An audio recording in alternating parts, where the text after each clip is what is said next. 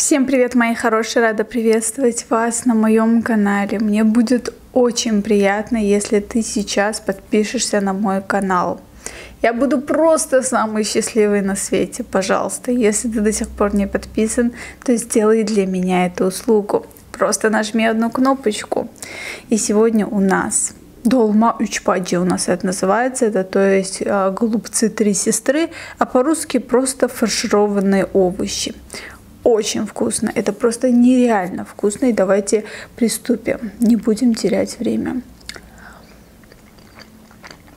Мне тут под прошлым видео одна подписчица написала, что у нее вышла реклама YouTube премиум. То есть платишь за подписку на YouTube, и реклама не всплывает. И она спрашивала меня, что в таком случае блогеры не получают деньги за просмотры. Она просто хотела купить эту подписку и спрашивала у меня, то есть выгодно ли нам это. Кто не в курсе, в YouTube есть функция. По-моему, 10 долларов в месяц, и тебе не всплывает никакая реклама.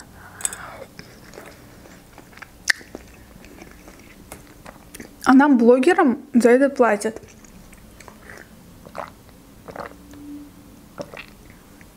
И платят так, как будто вы просмотрели эту рекламу. То есть, например, у вас всплывает реклама, вы можете либо ее пропустить, либо просмотреть до конца.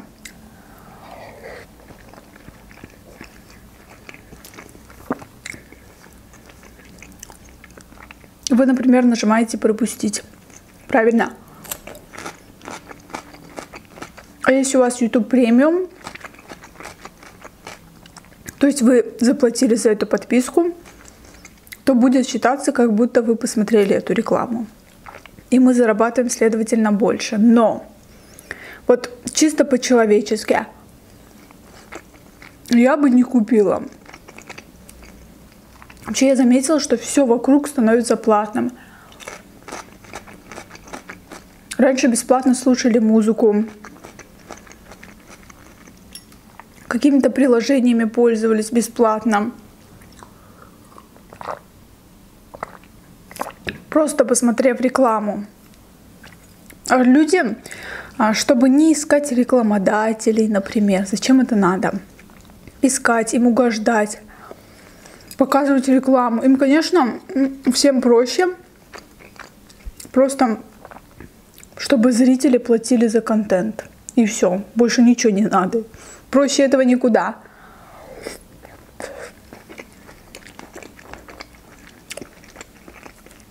Одно время было, помню, модно делать платный контент для некоторых подписчиков. Например, ты покупаешь платную подписку на блогера, например, в месяц выходит больше видео, за которые ты уже платишь. До меня никогда это не доходило. В смысле? Я могу посмотреть рекламу, мне не сложно.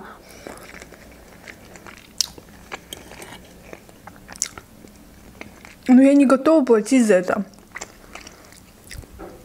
Даже там, я не знаю, возможно, я осталась где-то в 2010-м, но до меня еще никак не, как сказать, не доходит, что ты должна заплатить за свет, за газ, не знаю, за коммунальные услуги. И еще ты должна заплатить за любимый сериал, за YouTube премиум, за программу редактирования фото.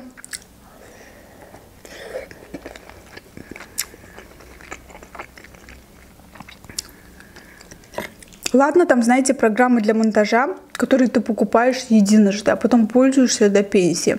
А другое дело на постоянной основе, тебе постоянно надо платить за это.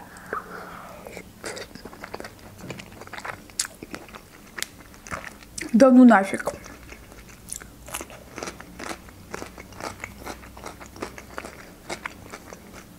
Ну, хотя дело ваше.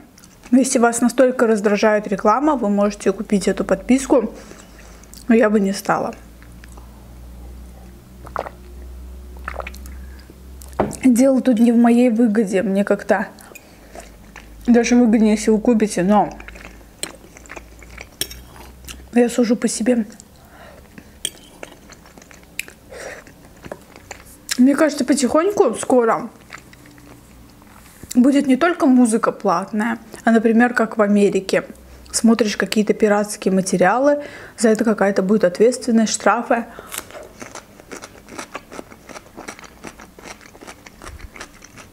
И потихоньку, чтобы посмотреть фильм дома, просто лежа на диване, мы будем платить. Печалька.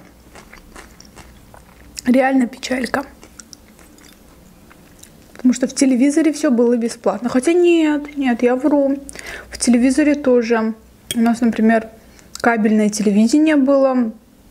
Я не знаю, как сейчас это называется, но мы за канал оплатили.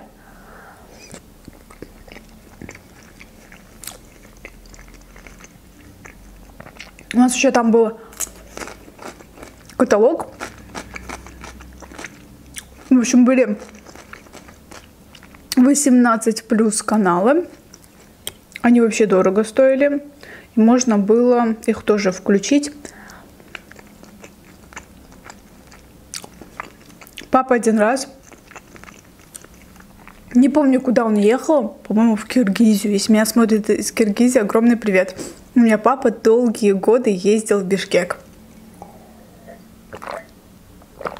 И, в общем, в один из дней Папа сказал, сколько можно платить за это кабельное телевидение. Давайте я соберу все свои деньги, все манатки, и мы купим нормальную антенну. И, короче, он поехал в Киргизию, оттуда привез какую-то супер навороченную антенну. И, знаете, антенна была с пультом. Ты, короче, сидишь дома и вот так вот ну, короче, нажимаешь, и получается антенна крутится. То есть сначала она смотрит в эту сторону, и она ловит, например, американские какие-то каналы. Потом ты поворачиваешь там украинские. В общем, с пультом антенна крутилась.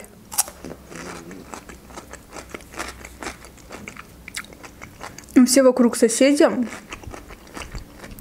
Видели, как у нас крутится антенна? По-моему, это просто был маркетинговый ход. Почему, знаете? Она, например, смотрит влево и ловит, например, Баку. Потом смотрит влево и ловит Америку. Тогда какой смысл, что она крутится? Мне кажется, это просто был какой-то маркетинговый ход, но соседи нам жутко завидовали, думали, что мы смотрим все каналы, даже 18 плюс бесплатно.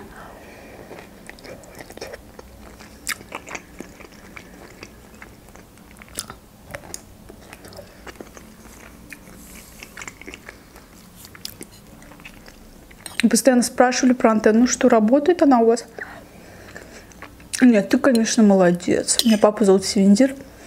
Не, ну ты, конечно, Севендир молодец. Это ж надо было такую антенну найти. Отхватить джекпот.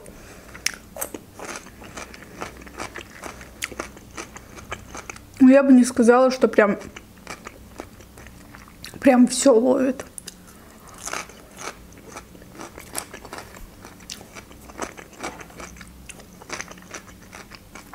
У этой антенны только был внешний вид. Просто показать соседям, что у меня есть антенна такая. И все такие шап-шап-шап-шап-шап, молодец. А по факту дурацкая была антенна, честно, вообще. В общем, папа нахваливал свою антенну, потом сосед такой говорит, привези мне тоже такую же.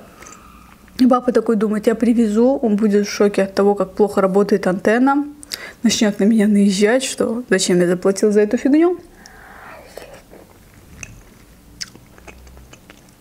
И баб такой говорит, а я все, уже в Киргизию больше не еду. Да. Теперь в другие страны. Сказал бы раньше, привез.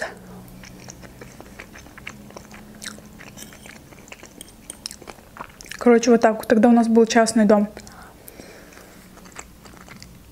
А здесь, по-моему, в новостройках даже нельзя антенну ставить. Видите ли, это портит внешний вид здания. У нас был одногруппник, он жил в очень элитном здании. И у них, прикиньте, на балконе нельзя ничего оставлять. Во-первых, здание находится в центре города. И, например, повесить свою одежду на сушилку ты не можешь на балконе. Балкон должен быть пустой, чтобы все здание выглядело одинаково красиво.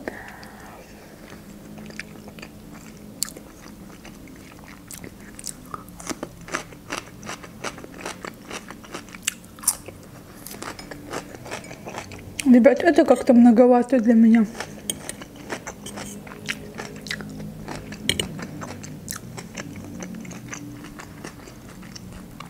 Ты на свой балкон не можешь поставить то, что хочешь. Напишите, пожалуйста, в комментариях, есть ли у вас какие-то ограничения насчет квартиры. Конечно, я все понимаю, там нельзя перекрасить свой балкон. Вот у нас, например, здесь стеклить нельзя.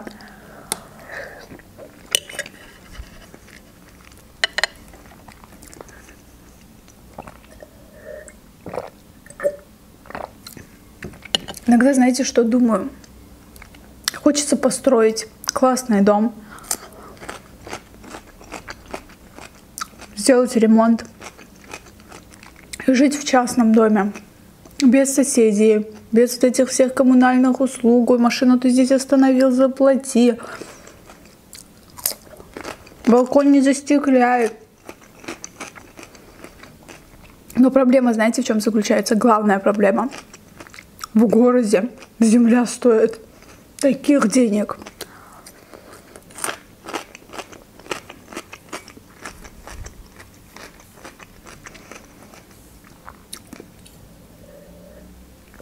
Просто таких денег стоит.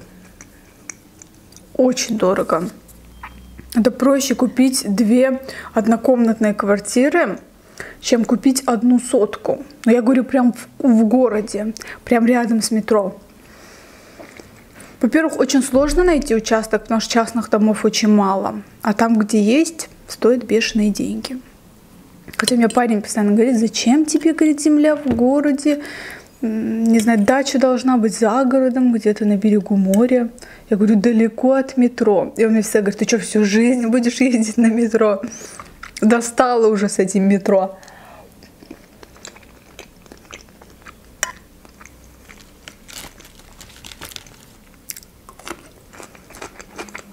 Так что вот так. Когда я жила в частном доме, я мечтала жить в квартире.